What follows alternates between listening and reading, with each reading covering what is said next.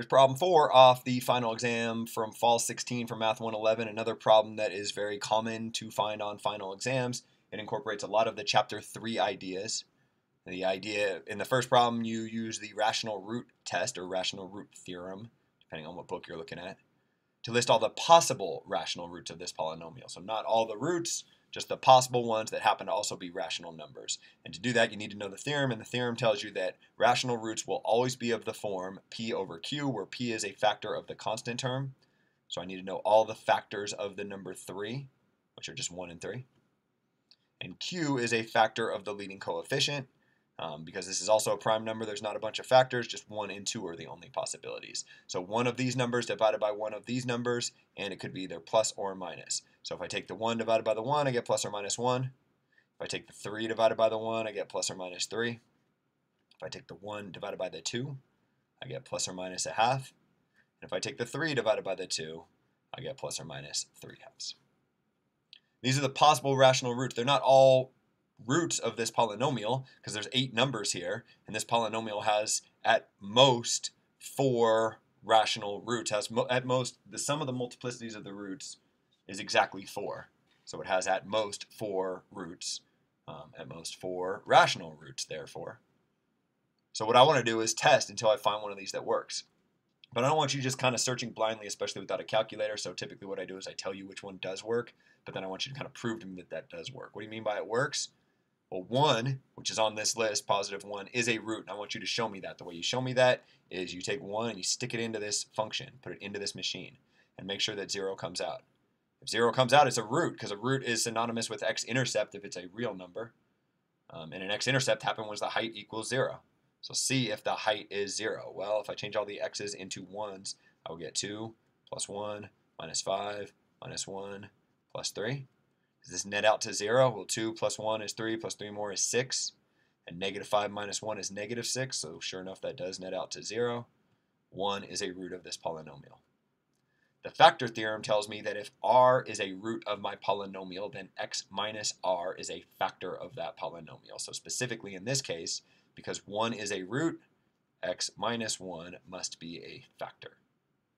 If x minus 1 must be a factor, then I can use polynomial long division. I can take x minus 1 and divide it into my original polynomial, which was 2x to the fourth uh, plus x cubed minus 5x squared minus x plus 3. And I can perform polynomial long division, and as I perform polynomial long division, I'll expect the remainder to be equal to 0. To perform polynomial long division, I need to get rid of this 2x to the fourth. And so I can do that if I put a 2x cubed up here. And then if I take that 2x cubed and multiply it by x minus 1, I get 2x to the fourth minus 2x cubed. And now I subtract. And the subtraction step is where a lot of people mess up. If you subtract these two numbers, it cancels out, which is good. But if I subtract these two numbers, be careful, you get positive 3x cubed. 1 x cubed minus negative 2 x cubed is the same as 1 plus 2, which is 3. And then I bring down this negative 5x squared. Now I repeat. You want to get rid of this 3x cubed? You better put a 3x squared up here. Because 3x squared times x gives me exactly 3x cubed. 3x squared times negative 1 gives me negative 3x squared and I subtract again. These go away. Negative 5 minus negative 3 is the same as negative 5 plus 3, which is negative 2 x squared. And I'll bring down that negative x. Now I want to get rid of this negative 2x squared, so I'll throw a negative 2x up here. Negative 2x times x gives me negative 2x squared. Negative 2x times negative 1 gives me positive 2x, and I subtract. Again, this column goes away. Negative 1x minus 2 more x gives me negative 3x. And I bring down that positive 3. You want to get rid of this negative 3x? Better toss negative 3 up here, because negative 3 times x gives me negative 3x. Negative 3 times negative 1 gives me positive 3. You subtract, and everything goes away. I get no remainder. That's fantastic. That's exactly what I was hoping would happen. You can leave your answer like this, or you can say, now what I know that my polynomial, f of x, can be written as x minus 1 times 2 x cubed plus 3 x squared minus 2x minus 3. Part E says factor the quotient from part D. Factor this thing more. And it gives you a little hint, factor by grouping, to obtain the final factored form of f. So let's maybe over here, I'll just say let's factor 2x cubed plus 3x squared minus 2x minus 3. And then when I get the factored form of this, I can kind of tack on this x minus 1 and get my factored form. Uh, it says factor by grouping. So this is my first group. I look for their greatest common factor. It's x squared in this case. If I pull an x squared out from this first group, what I'm left with is 2x plus 3. That becomes my target. I want to now look at my second group and factor something out so that I'm left with the same target. I'm left with 2x plus 3 in the parentheses. Well, you can do that if you factor out a negative 1. If you factor out a negative 1 from this second group, you'd be left with 2x plus 3. And what you now have are two terms, and each of those terms have a 2x plus 3 in them. So you can factor out that 2x plus 3. Now this is gone, and this is gone. So all that's left behind is x squared minus 1. Uh, so what I get is that f of x is equal to x minus 1 times 2x plus 3 times x squared minus 1, which is how a lot of people left it. And I think I gave you full credit here as long as you get all the x-intercepts from this. But technically, you can go further here. Um, that's because this is a difference of squares. So x squared minus 1 factors. It factors as x plus 1 times x minus 1. If you got this far, you definitely got full credit. However, I'd make the point that this can be rewritten as x minus 1 squared times 2x plus 3 times x plus 1 you have two of, oh man. So that was really annoying. That program just crashed on me and everything that I did got erased and I am certainly not going to go back and redo that whole thing. Um, but I think I left off here. I think I left off that we had x minus 1 times 2x plus 3 times x minus 1 times x plus 1. And I think I had mentioned that I'd probably give you full credit even if you just got to here. But technically you could factor this further to get to here.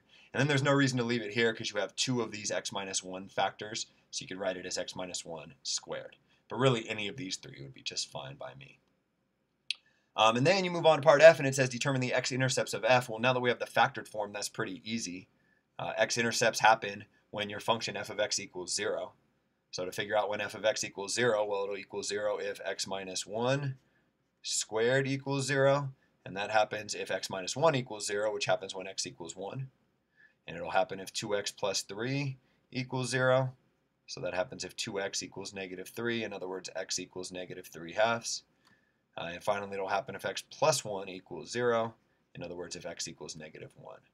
So I have x-intercepts at 1, negative 3 halves, and negative 1. This x-intercepts has, has a multiplicity of 2, which is relevant if you have to sketch a graph, which I do later on. Um, but for the purposes of part F, you didn't have to write anything. You just have to say it's got an x-intercept at 1. Finally, sketch a graph of f uh, I better make sure that I have all the right information because it all deleted.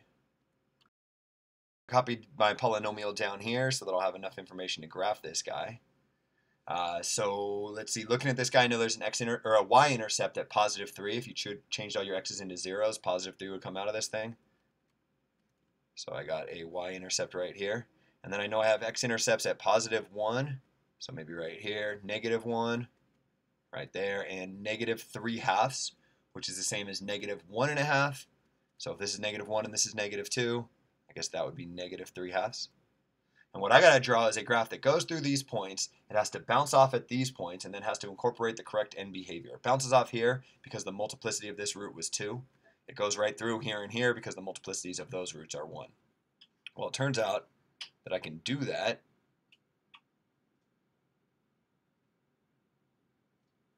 if I draw something that looks kind of like this. This is not a perfect sketch. It's a very approximate sketch of the graph. Uh, but it goes through these two points, this point, and it bounces off at this point, and that would get you full, uh, full credit, be the correct answer. Note that I never even figured out the end behavior. I could figure out the end behavior. As x goes towards infinity, y goes towards infinity, it goes up on the right. And as x goes towards negative infinity, y goes towards positive infinity, it goes up on the left. But I didn't even have to. Because in this case, if you know the y-intercept and the multiplicity of the roots, you're kind of forced to go up on this side and up on this side. It has to cross at these points and then nowhere else. So there's no way this would kind of come back down here because it'd have to cross this axis. So you didn't even have to take the time to figure out the end behavior. Although if you wanted to, you would find that it has exactly the end behavior that I depicted here.